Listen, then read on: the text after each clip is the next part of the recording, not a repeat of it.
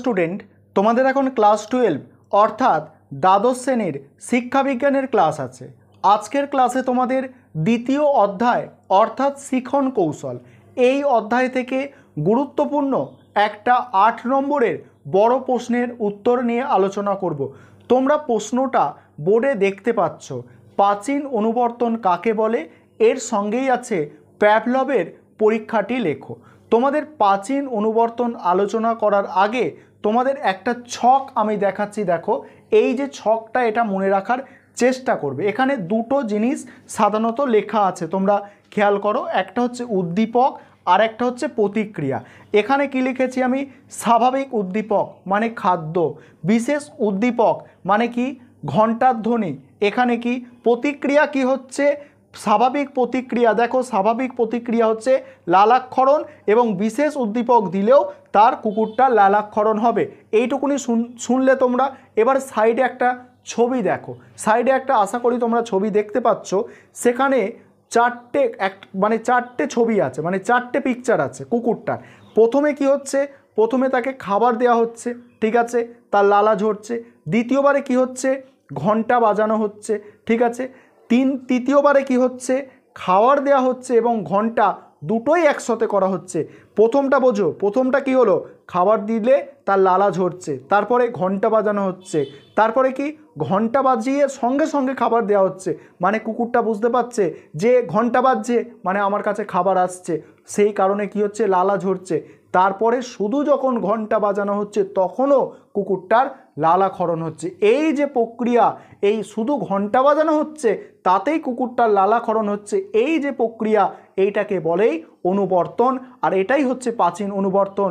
অর্থাৎ সাধারণ যে উদ্দীপক, সাধারণ উদ্দীপক ছাড়াও বিশেষ উদ্দীপকের প্রভাবে, বিশেষ উদ্দীপকের প্রভাবে যখন প্রতিক্রিয়া হয় তখন তাকে অনুবর্তন বলে। এবারে আমরা দেখব যে প্যাভলবের এবারে আমরা দেখব প্যাভলবের যে অনুবর্তনের পরীক্ষা। এবারে তোমরা আরও একটা ছবি সাইডে দেখতে পাচ্ছ, দেখো, সাইডে দেখতে পাচ্ছ। পরীক্ষা করার জন্য কি হয়? পরীক্ষা করার জন্য কিছু উপকরণ লাগে। এই পরীক্ষাটা করা হয়েছে, এখানেও কিছু উপকরণ আছে। তোমরা ছবিতে কি দেখতে পাচ্ছ? একটা কুকুর আছে। কুকুর একটা উপকরণ, একটা টেবিল নেওয়া হয়েছে, খাদ্যবস্তু নেওয়া হয়েছে এবং সাইডে কি আছে দেখো? সাইডে নল আছে। কুকুরটার এই যে জায়গাটা, কুকুরটার মুখে এই জায়গায় ফুটো করে, এই গাল অবধি ফুটো করে কি হয়েছে? নল লাগিয়ে দেওয়া হয়েছে। আর কুকুরটা যাতে নড়াচড়া করতে বেশি না পারে, তাই জন্য কি হয়েছে? পেটে, বুকে, পায়ে, মাথায় সব বেল্ট দিয়ে আটকে দেওয়া হয়েছে। এইগুলো হচ্ছে কি পরীক্ষার উপকরণ, ঠিক আছে? পরীক্ষাটা কি করে করা হবে? যেখানে পরীক্ষা করানো হচ্ছে সেখানে কুকুরটাকে একটু অভ্যস্ত করিয়ে দেওয়া হবে দু একদিন ধরে। তারপরে কি করা হবে? তারপরে এক সময় কি হবে?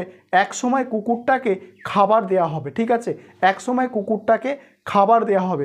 খাবার দেওয়া হলে কি হবে? কুকুরটাকে খাবার দিলে কি হবে? কুকুরটার লালাক্ষরণ হবে। তারপরে কি হবে? ঘণ্টা বাজানো হবে। তারপরে কি করা হবে?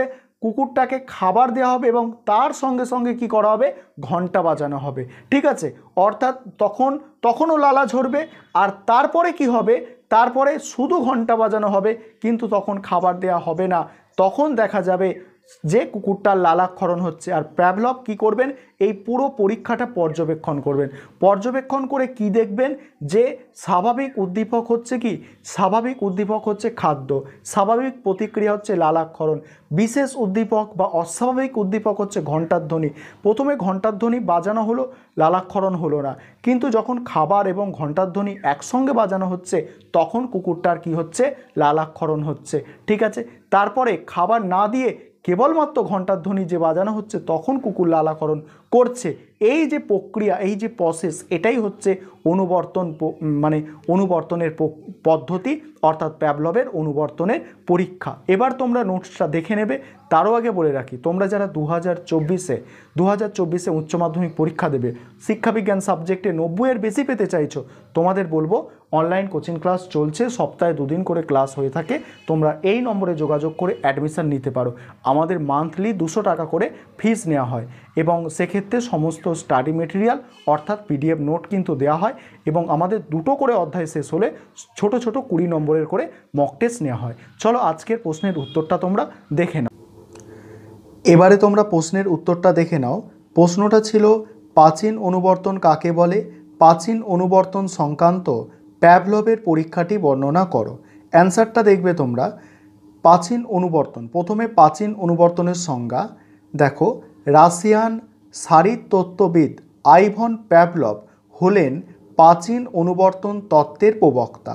তার মতে, প্রাণীরা স্বাভাবিক উদ্দীপকের উপস্থিতিতে স্বাভাবিক প্রতিক্রিয়া করে থাকে, আবার চেষ্টার দ্বারা অস্বাভাবিক বা কৃত্রিম উদ্দীপকের দ্বারাও স্বাভাবিক প্রতিক্রিয়া ঘটানো সম্ভব। স্বাভাবিক উদ্দীপকের বদলে অস্বাভাবিক বা কৃত্রিম উদ্দীপকের দ্বারা স্বাভাবিক প্রতিক্রিয়া সৃষ্টি করাকে বলা হয় প্যাভলবীয় অনুবর্তন বা প্রাচীন অনুবর্তন। তারপরে দেখো, অনুবর্তনমূলক শিখনের পরীক্ষা। প্রথমে পরীক্ষা করতে গেলে কি দরকার? উপকরণ। অর্থাৎ যেসব বস্তুগুলো লাগবে, দেখো, যে একটি ক্ষুধার্ত কুকুর লাগবে, একটি ঘণ্টা লাগবে, আরেকটা টেবিল, কিছু খাদ্যবস্তু, আরও কিছু আনুষঙ্গিক উপাদান বা উপকরণ লাগবে। পরীক্ষা কীভাবে হবে, দেখো, প্যাভলভ কুকুরটিকে পরীক্ষণের জন্য ব্যবহারের আগে কয়েক সপ্তাহ ধরে তাকে প্রশিক্ষণ দেন। পরীক্ষাগার তার পরিবেশ সম্পর্কে পরিচয় করিয়ে নিয়েছিলেন। পরীক্ষাগারে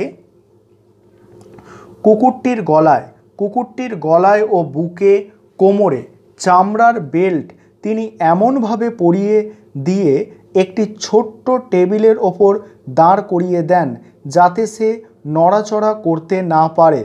কুকুরের গালে বিশেষ পদ্ধতিতে ছিদ্র করে রবারযুক্ত কাঁচের নল লালাগন্তির সঙ্গে লাগিয়ে দেন।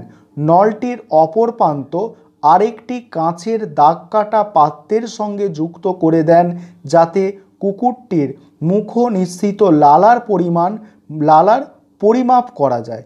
কাঁচের পাত্রটির সঙ্গে কাইমোগ্রাফ যুক্ত করে দেন, যার সাহায্যে লালার পরিমাণ লিপিবদ্ধ করেন।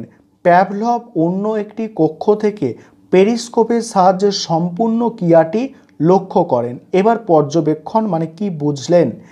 প্যাভলভ কিন্তু বলছে প্যাভলভ কিছু খাদ্যবস্তু এনে ক্ষুধার্ত কুকুরের সামনে রাখলেন, দেখলেন যে কুকুরের লালাক্ষরণ হচ্ছে।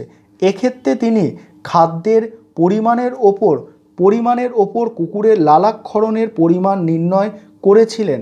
খাদ্যবস্তু হলো স্বাভাবিক উদ্দীপক এবং লালাক্ষরণ হলো স্বাভাবিক প্রতিক্রিয়া।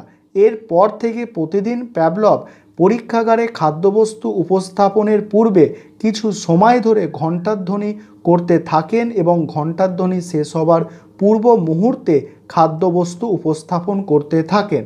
প্রথম দিকে, বলছে প্রথম দিকে পরীক্ষামূলক পরিস্থিতিতে দেখা গেল, ঘণ্টার ধ্বনি ক্ষুধার্ত কুকুরটিকে সজাগ করেছিল বলছে এখানে ঘণ্টার ধ্বনি স্বাভাবিক উদ্দীপক, কুকুরটিকে মানে সজাগভাবে স্বাভাবিক প্রতিক্রিয়া তারপরে দেখো প্যাভলভ আরও দেখলেন, ঘণ্টার ধ্বনি শেষ হওয়ার ঠিক পূর্ব মুহূর্তে খাদ্যবস্তু উপস্থাপন করার ফলে কুকুরের লালাক্ষরণ হচ্ছে। বলছে এভাবে সমস্ত ঘটনাটিকে বেশ কিছুক্ষণ ধরে পুনরাবৃত্তি করার ফলে খাদ্যবস্তু উপস্থাপনের পূর্বে ঘণ্টার ধ্বনির সঙ্গে কুকুরটির লালাক্ষরণ হচ্ছে, বলছে ঘণ্টার ধ্বনির সঙ্গে সঙ্গে কুকুরটির লালাক্ষরণ হচ্ছে। এই পরিস্থিতিতে ঘণ্টার ধ্বনি হলো স্বাভাবিক বা কৃত্রিম উদ্দীপক এবং লালাক্ষরণ হলো স্বাভাবিক প্রতিক্রিয়া। ঠিক আছে, এটা হচ্ছে অস্বাভাবিক বা কৃত্রিম উদ্দীপক।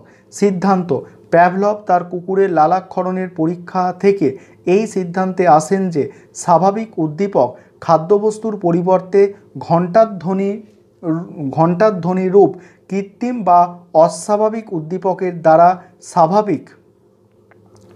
স্বাভাবিক প্রতিক্রিয়া অর্থাৎ লালাক্ষরণ ঘটছে স্বাভাবিক উদ্দীপকের পরিবর্তে কৃত্রিম উদ্দীপকের দ্বারা। যদি স্বাভাবিক প্রতিক্রিয়ার সৃষ্টি করা যায়, তখন তাকে অনেক বলছে তখন তাকে অনুবর্তন বলা হয়। প্যাভলভের পরীক্ষায় ঘণ্টাধ্বনি অনুবর্তিত উদ্দীপক এবং লালাক্ষরণ অনুবর্তিত প্রতিক্রিয়া। আর খাদ্যবস্তু অনুবর্তিত উদ্দীপক, ঠিক আছে? আর সজাগভাবে মানে আবর্তিত প্রক্রিয়া। প্যাভলভ তার এই মানে এই প্রক্রিয়াটির নাম দিয়েছেন অনুবর্তিত আবর্তন প্রক্রিয়া। বর্তমানে আধুনিক মনোবিদগণ এর নাম দিয়েছেন অনুবর্তিত প্রক্রিয়া।